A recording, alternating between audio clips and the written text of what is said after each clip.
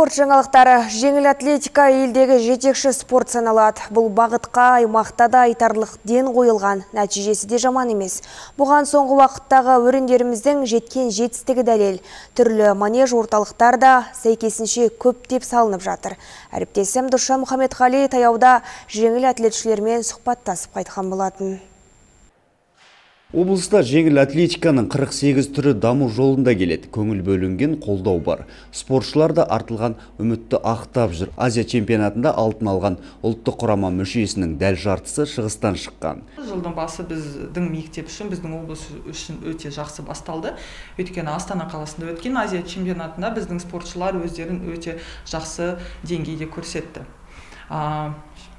қазақстан бойынша алты алтын медаль иеленді қазақстан а, соның ішінде үш алтын медальді біздің а, облыс спортшылары алды Мектеп директоры Олимпиадаға әлі ерте дейді. Дегенмен бұл өз шәкірттерінің басты мақсаттарының бірі.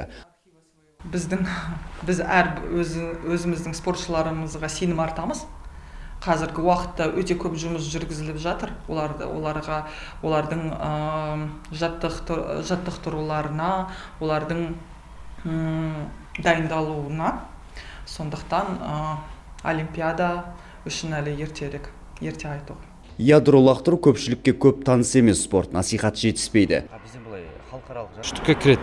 Толық қазақстан бойынша үштікке кіреді ядролықтардан осы шығыс қазақстан кіреді. Ну примерно бір он он бес шақты балалар айналысады Спортшылардың көбі жан-жақта оқу жаттығу жиынында жүр. Жазғы дайындық маусымы негізінен осылай өтеді екен. Бұл олар үшін тәжірибе және қосымша білім дейді мамандар. Досша Мұхамедқали, Тимур Очиске, Алтай ақпарат.